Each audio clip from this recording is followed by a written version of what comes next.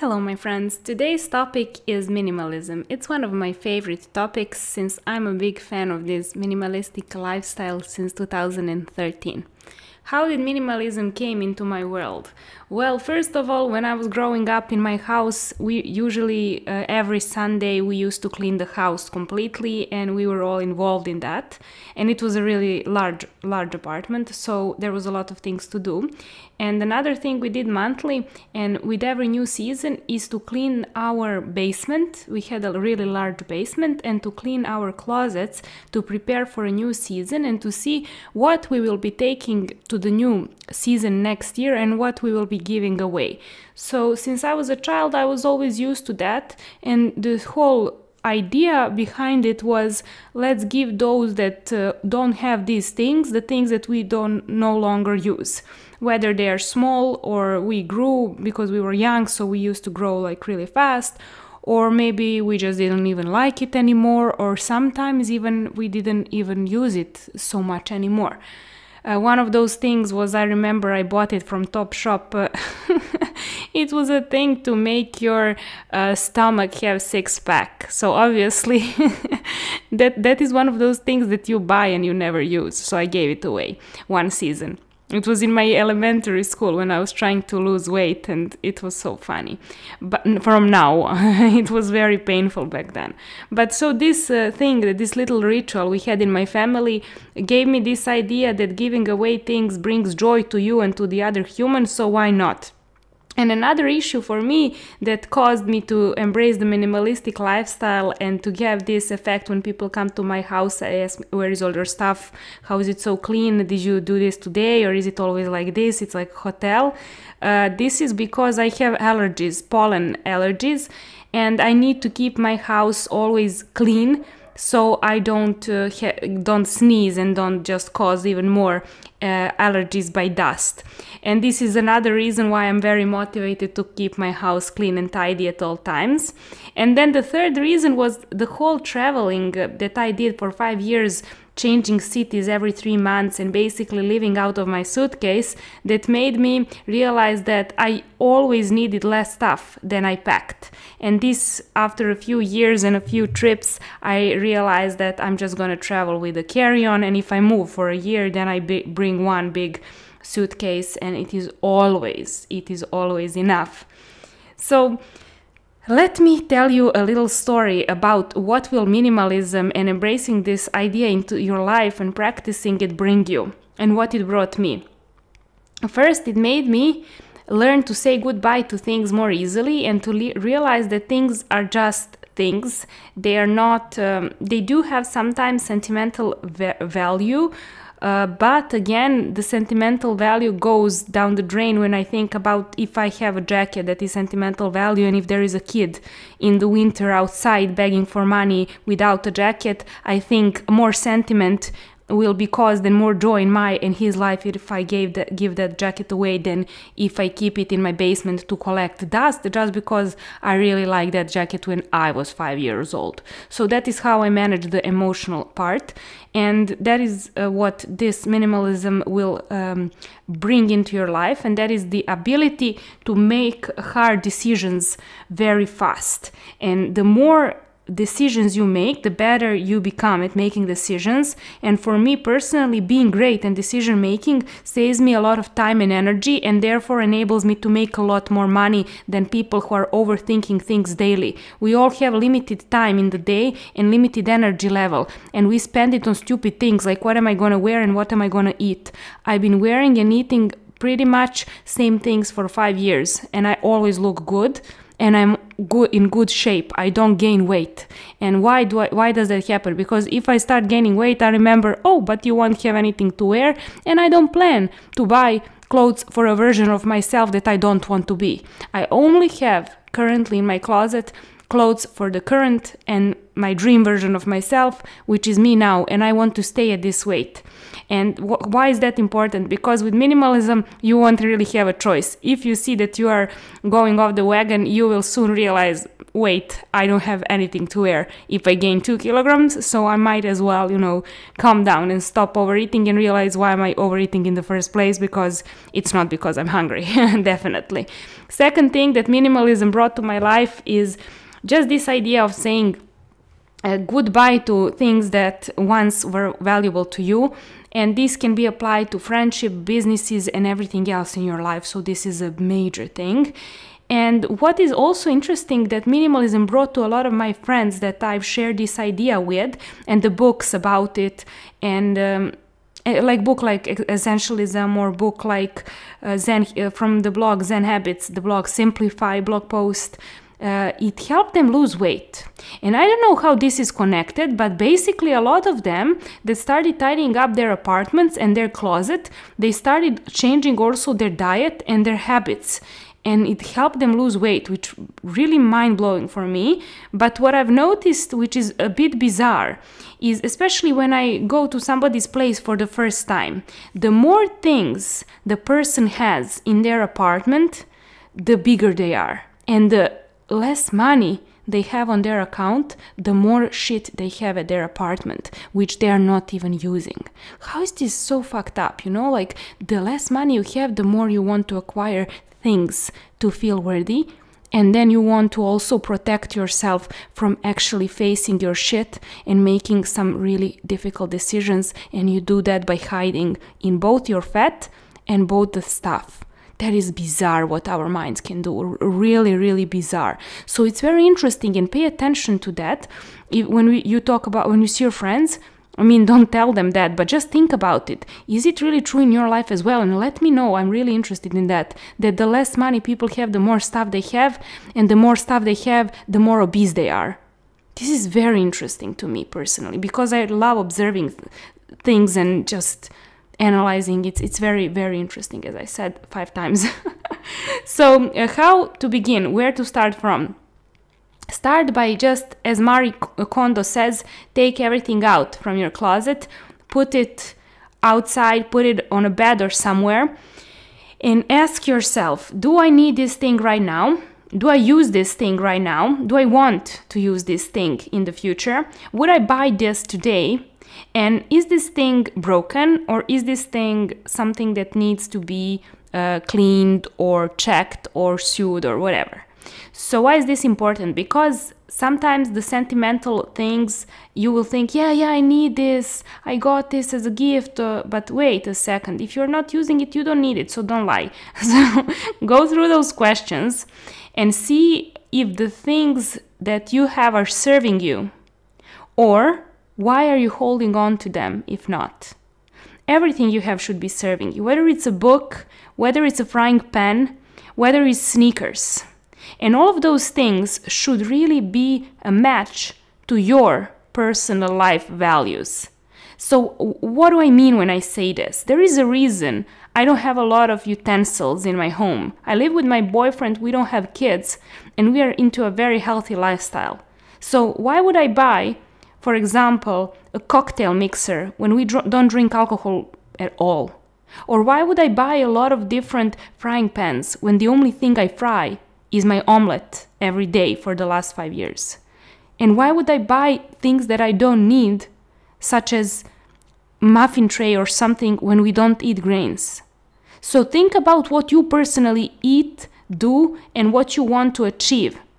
And if something doesn't really align with your life values, give it away. You don't need to set yourself up for failure. And you don't you shouldn't be keeping things that you don't use or don't plan to use or don't align with your life values. Because if you keep a toaster and you want to get rid of bread why would you set yourself up? You know what i mean? Okay if you have kids who eat bread you do that but you understand the point this toaster story is just an illustration if you've decided to stop eating flour just get rid of the toaster bread, toaster and the bread, you know? Don't set yourself up. Life is full of things that will make it harder. Don't make it harder on yourself. Another thing that minimalism brought me and that can help you with is realizing why would you use something that is so old that it doesn't bring you joy and it makes you feel like very poor when you use it, such as old shitty towels or old uh, like bed, bed covers or pillowcases. You know, this maybe sounds stupid, but to me personally, that made such a difference when I was leveling up in my financial and business aspect of my life. I invested in silk, silk, silk uh, pillowcases and in clothes and in also the little things that bring me joy, such as really expensive, luxurious towels.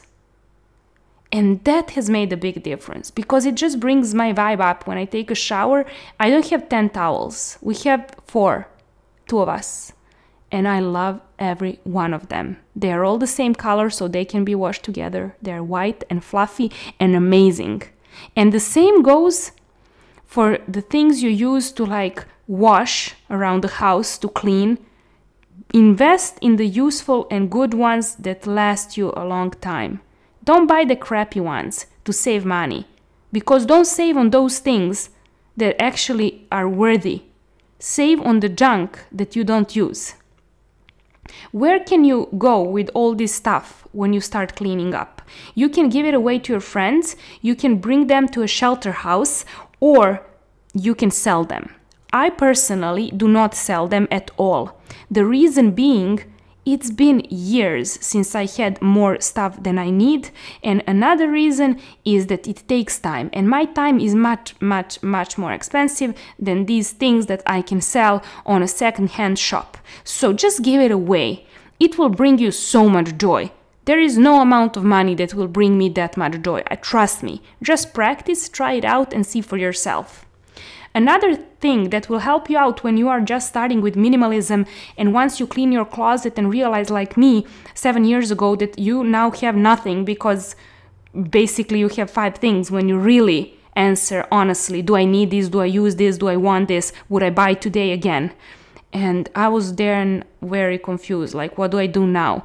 And what helped me was an advice from a friend that said buy something for a person you are becoming. So I went and I bought a really expensive fitness gear like for bodybuilding to just motivate myself to go regularly to the gym and to get some goals that I've been postponing to make them happen. And this helped me a lot because whenever I put that gym clothes on, I felt very powerful, strong, and very eager to go and head out and do my exercise. So maybe for you it's not a gym clothes, maybe for you it's a new laptop or a book or something else like high heels if you want to feel I don't know whatever you're looking how you're looking to feel find that that will help you to get into that mood faster and to create it faster in your life. What are the things that you will forget to clean up? Maybe basement your car maybe if you have an attic also a work desk a laptop. Yeah let's clean up those folders. Old pictures photographs and old documents. This is crucial especially if you are talking about if you're over 18 years old you really need to have documents backup. I'm talking your passport birth certificate and things like that. And what i highly recommend to anyone who has a business and who is over 20 years old to have their will. What happens if you die? If it's an emergency you need to have a testament you need to have a will and you need to have your passports uh, informations and passwords in one fo- folder which is basically a folder when you die what can people do? I have this and this is something i highly recommend where it's basically everything is written down what goes to whom and what i want for my funeral and what are the passwords and what are the documents. So i don't want to mess up other people's life when i'm gone and to clean up after my shit for years. Like people do. When they die they leave shit behind them and in shit by shit i mean a lot of stuff a lot of misplaced documentation and they just make this horrible for people who are still alive to just go for a year and to go and figure out what they've been up to. You know why why do that when it's just it's like 2 hours of your day? Just do it you know? It's it's a little thing that will make a big difference when you're gone Uh, another thing that happens when my friends start cleaning and asking these questions, in that they say a lot of times when I go to their houses and they call me to practice that in front of me because they know it will be funny and I will always laugh at them and make jokes, is they tell me, I don't know if I need this. And I'm like, dude, that means no. Because remember that time you said you're not sure about that guy that turned out to be a jerk? Well, you're not now not sure about this shirt. So the shirt is out. And they laugh, and that's such a good point because really, I don't know, I'm not sure. That is just no. Don't don't make it something it's not. Uh, another question is like, what if I need this again? So if you have something that is like winter skiing equipment and you haven't been skiing for 10 years, then dude, you can borrow it if you decide to go skiing again. You can buy it. If you cannot afford it, you can borrow it. Just don't obsess over it. The same goes for like exclusive dresses and things you never wear. If you want to go to an event, you will always want to go in a different dress. So you can just rent a dress, borrow it from a friend, from your mom or whomever, you know, whoever size you can fit in and just don't don't use this excuse it's stupid we are in 2020 like you can buy and borrow anything online. There is really no reason for you to live as a hoarder just because you have bad the mind management. Really it's, it's only about the mind management. It's nothing else. You will have such a better life with less stuff than i can even explain to you. I, I promise you that. Last thing i want to say about minimalism. I feel that the benefits that you will gain when you embark on this journey and embrace this lifestyle is freedom of your mind, peace, cleanliness, joy. Everything you want to wear is beautiful and new, or maybe not new, but it looks like it's new. I have things that are five years old, in they're very high quality and very very luxurious feel even if they weren't expensive i want to touch them and feel wow this is so amazing i want to wear this i feel beautiful in this so that is the effect we want. Not, oh, this is okay. No, I feel amazing in this, or just give it away. So you will have an, a basically whole house that breathes. You will have free space. Not everything has to be cluttered. You will know exactly what you can wear at what occasion. You will know exactly if you need to buy something, what is it and why, and in which color and which size and you will know exactly what you should you should always borrow, which is basically exclusive dresses and some activities that you want to go like mountain climbing or skiing or snorkeling, you can rent it. You don't need to own stuff. I love to go on a vacation in a luxurious seaside house. I don't want to own the house. It's too big of an expense and I would use it only once a year. So I prefer to rent or borrow from my rich friends that have those kind of houses that they don't even use. And they are very joyful when I use them because they say, "Oh good, I didn't waste money. At least you are enjoying their your time." And I also do the same thing. Whenever I have something someone wants to borrow, here you go. Because it's just energy. It's like things go around. It's fine, you know? You don't have to own things to feel rich because you feeling rich and being rich comes from the opposite you just have to own your mind to feel your emotions, to have a great mind management, and to feel freedom to be who you are and to make a decision who you want to be and become. And then your whole environment should be basically your support, your infrastructure that will help you reach your goals. And if you live in a messy house, if you wear clothes that look bad on you, or if you feel bad wearing that clothes, if they're not the right size or they're washed washed out color, you will not be stepping into the best version of yourself. And for me, minimalism is something that just helps me make fast decisions, be more of who I already am, and be closer to a version of myself I want to become.